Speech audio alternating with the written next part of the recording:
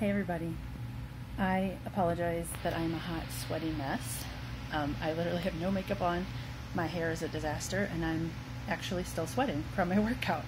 Um, but I just had to hop on and talk to you because all week I've been dealing with stupid fear.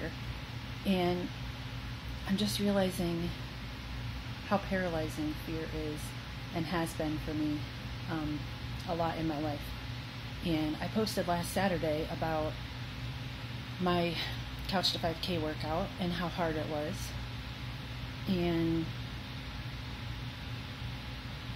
I think I focused on that part all week. I focused on how hard it was and how I can't believe I barely got through it and what if I couldn't do it again and oh my legs were sore for a couple days and you know I focused on all that negative crap. What I forgot to focus on was the fact that I did it. I finished it. I survived.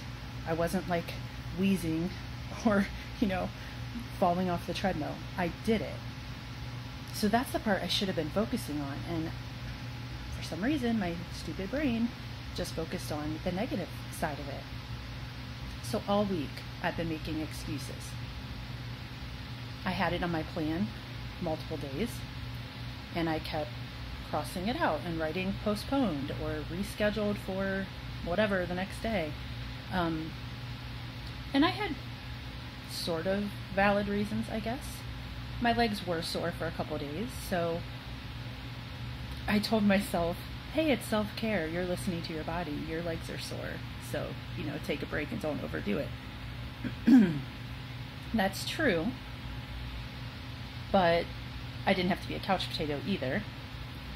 And I'm not sure that that was the real reason, you know, in retrospect. Then I had a few days where I was overly tired because I didn't go to bed on time. And I didn't go to bed on time because I was up late working on stuff for the blog and getting ready for the challenge. And again, valid reasons, but I've gotten up when I was tired before to do it. And I've had a couple nights where I've run on five or six hours and survived. Yet for some reason this week I told myself, oh no, you couldn't possibly get up early to work out because you need your rest. Which is true. Sleep is important. But I was using it as an excuse. And sounded like a pretty virtuous excuse. So, you know, it's different than just saying, oh, I'm just being lazy or whatever. You know, I found good, quote unquote, good excuses not to do it. Um, and a couple days ago, my husband asked me, hey, did you run this morning? You know, just a curious, not judging at all. And I was just like, no, I got up early and I just wasn't feeling good and didn't do it. And just talking to him about it really got my wheels turning. And I came out later and I said, I wonder if I'm scared that I won't be able to do it. Or if it's really just, you know, that I'm too tired or whatever. And he said, Yeah, it's probably fear. You're probably holding yourself back. And he didn't say it in a judging way at all. I mean, he's the most supportive guy there is. So um, I just took it as food for thought. I've been kind of mulling it over for a couple days. And then I was supposed to work out yesterday. And just didn't happen. We were up late Friday night. I had stuff to do. I did, you know, grocery shopping. Um, again, worked on more stuff for the challenge and just kept putting it off and putting it off. So this morning, I'm just hanging out playing with my son.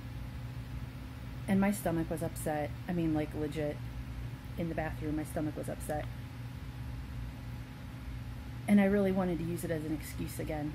And I just was like, no, this is silly. Like, I told myself, you were going to go get on that treadmill and you're going to walk if you have to. If you start doing the workout and you can't do it, you're going to drop back to a previous week. Or you're just going to walk, but you're going to do something. You're not going to sit here and make excuses and be scared. Scared to do something that I've done before. Like, I did it last Saturday. I mean, yeah, it was hard, but I did it. And by the way, like years ago, I've run way more than this. So it's not logical, and I guess that's my point is that no matter how much you feel like you're in a good place or you're on track, those feelings can still just pop up out of nowhere. Like when I got done with my workout last week, I was like, wow, that was hard, you know, but I felt like pretty awesome that I finished it. And then somehow, because my legs were sore the next day, my brain created this whole story about how hard it was and what if I couldn't do it again and blah, blah, blah. And you know what? So what if I couldn't do it again? Like, what if I came down here today and tried it and my body was like, no, you're not ready for that? So what?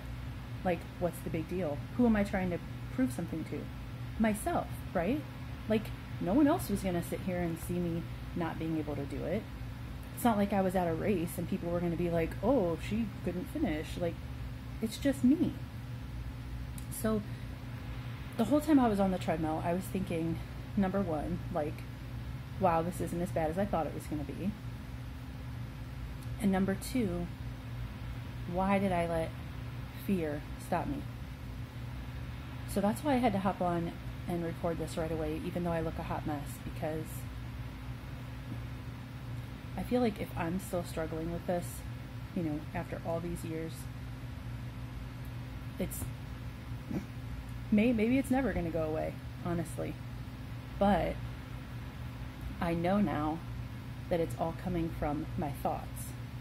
There were no facts, there was no evidence to indicate that I wouldn't be able to do it. Again, I did the same workout last week, like, completed it, okay? So, where was the evidence that I wouldn't be able to do it? Nowhere. It was a thought I had inside my head. Oh, sorry. I'm not so good at video. I'm jumping all around here. You like Mickey and Elmo in the background? Yeah, those are my uh, those are my workout buddies. Anyway, so I'm reading this book, um, and I'm going to be telling you guys more about it. But I'm reading this book on mindful eating, and she talks about your thoughts lead to your feelings, which cause actions, which lead to your results. And I've heard other people talk about this, and the life coach school, that's like part of her coaching model and stuff.